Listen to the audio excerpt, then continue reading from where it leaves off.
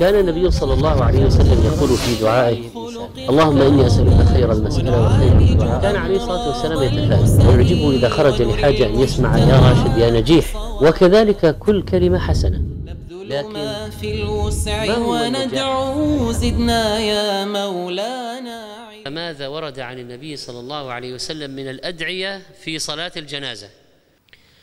من الأدعية الثابتة عن النبي صلى الله عليه وسلم أولا حديث عوف بن مالك قال صلى رسول الله صلى الله عليه وسلم على جنازة فحفظت من دعائه وهو يقول اللهم اغفر له وارحمه وعافه واعف عنه وأكرم نزله. وما هو النزل؟ القراء. وما هو القراء؟ الإكرام الذي يقدم للضيف. والإنسان الراحل من الدنيا القادم على الله هو قادم على دار جديدة فأنت تسأل الله له أن يكرم نزله وضيافته أول قدومه على ربه.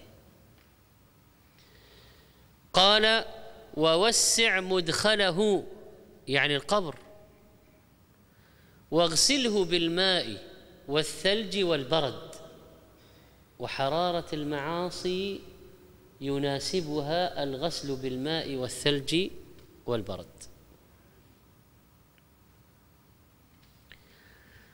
ونقه من الخطايا كما نقيت الثوب الأبيض من الدنس وأبدله دارا خيرا من داره واهلا خيرا من أهله وزوجا خيرا من زوجه. طبعا الميت في الجنة له أهل في حور عين وهناك ولدان مخلدون يطوفون عليه.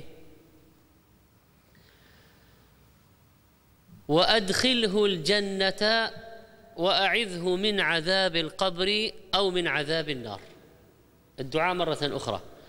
اللهم اغفر له وارحمه وعافه واعف عنه وأكرم نزله ووسع مدخله واغسله بالماء والثلج والبرد ونقه من الخطايا كما نقيت الثوب الأبيض من الدنس وأبدله دارا خيرا من داره وأهلا خيرا من أهله وزوجا خيرا من زوجه وأدخله الجنة وأعذه من عذاب القبر أو أعذه من عذاب النار.